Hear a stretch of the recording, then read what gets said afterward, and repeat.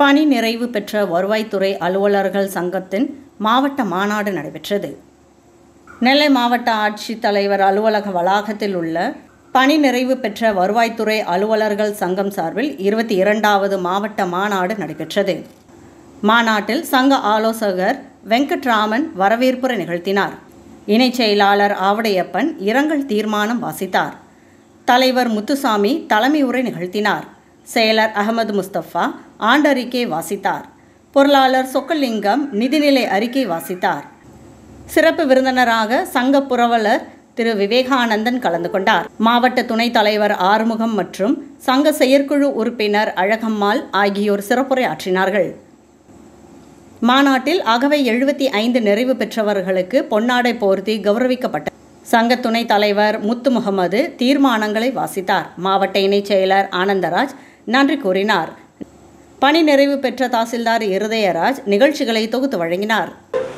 சந்தோஷமாகவே இருக்கும். நீங்க சந்தோஷமா இருக்கணுங்கிறத சொல்லி நான் என்னுடைய பேச்சை முடிச்சேன்.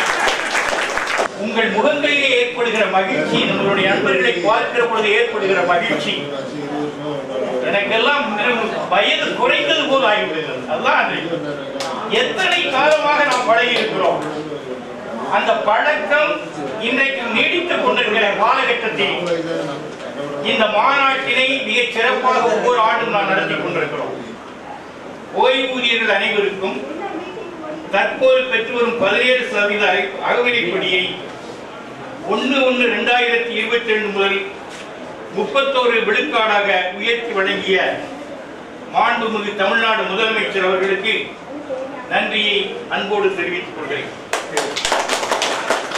இரண்டு தமிழர் திருநாளாம் பொங்கல் திருநாளுக்கு சிஎன்டி பிரிவு ஓய்வூதியர்கள் அனைத்து குடும்ப ஓய்வூதியர்களுக்கு ரூபாய் ஐநூறு கருணைத் தொகை வழங்கிய மாண்புமிகு முதலமைச்சர் அவர்களுக்கு நன்றியை தெரிவித்துக் கொள்கிறோம். ஐந்து மூணு ரெண்டாயிரத்தி இருபத்தி ரெண்டாகிய இன்று திருநெல்வேலி மாவட்ட பணி நிறைவு பெற்ற வருவாய் அலுவலர் சங்க ஆண்டு விழா சிறப்பாக நடைபெற்றது. இந்த விழாவிற்கு சங்க தலைவர் திரு முத்துசாமி தலைமை வகித்தார். சங்க ஆலோசகர் திரு வி எஸ் வெங்கட்ராமன் வரவேற்பை ஆற்றினார். சங்க ஆலோசகர் திரு ஆவுடையப்பன் மீத்தார் நினைவு குறிப்புகளை வாசித்து கடந்த ஆண்டு சங்க மறைந்த சங்க உறுப்பினர்கள் நினைவாக இரண்டு நிமிடம் மௌன அஞ்சலி செலுத்தினோம். சங்க செயலாளர் திரு அகமது முஸ்தபா அவர்கள் ஆண்டறிக்கை வாசித்தார். சங்க பொருளாளர் திரு சொக்கலிங்கம் அவர்கள் நிதிநிலை அறிக்கையை வாசித்தார். நிதிநிலை அறிக்கையை சங்க மாநாடு ஏகமனதாக ஏற்றுக்கொண்டது. சங்க துணைத் தலைவர் திரு முத்து முகமது அவர்கள் சங்கத்தின் தீர்மானங்களை வாசித்தார்.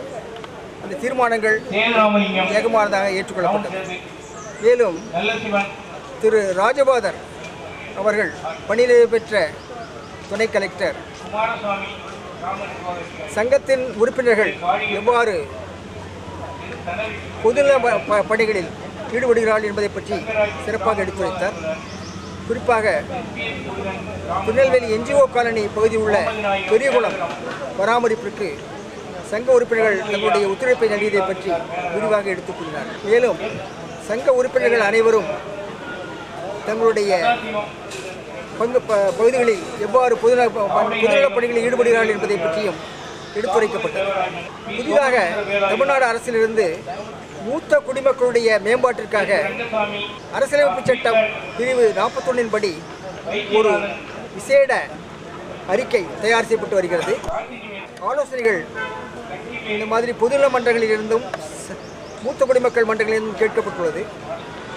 அதுபடி அதன் பிரகாரம் சங்க ஆலோசகர் திரு வி. எஸ். வெங்கட்ராமன் ஒரு அறிக்கையை அரசுக்கு சமர்ப்பித்துள்ளார்.